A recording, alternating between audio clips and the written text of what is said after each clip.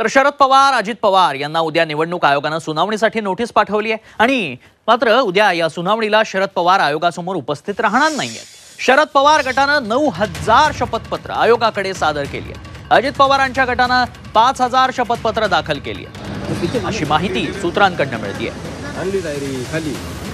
उद्या आयोगासमोर शरद पवारांचे वकील अभिषेक मनु सिंघवी बाजू मांडतील. समर्थन देणाऱ्या आमदारांची संख्या जास्त असल्याचा दावा अजित पवार गटानं केलाय.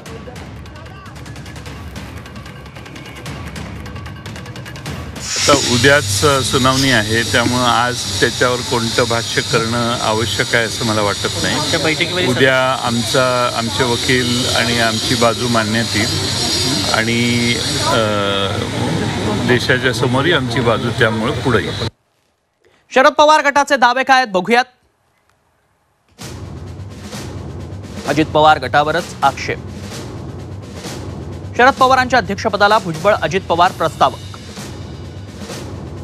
सुनील तटकरे धनंजय मुंडेंचीही प्रस्तावक म्हणून सहमती. शरद पवार गटाकडून समर्थनाची नऊ हजार शपथपत्र सादर. अजित पवार गटाचे दावे काय आहेत बघा. अजित पवार गटाला समर्थन देणाऱ्या आमदारांची संख्या अधिक आहे. विधानसभा विधान परिषद आमदार प्रतिज्ञापत्र देणार. आहे शरद पवारांची निवडणुकीद्वारे अध्यक्षपदी निवड करण्यात आलेली नाही. अजित पवार गटाकडून पाच हजार प्रतिज्ञापत्र सादर करण्यात आली आहेत. लाल मातीतली कुस्ती. म्हणजे चोवीस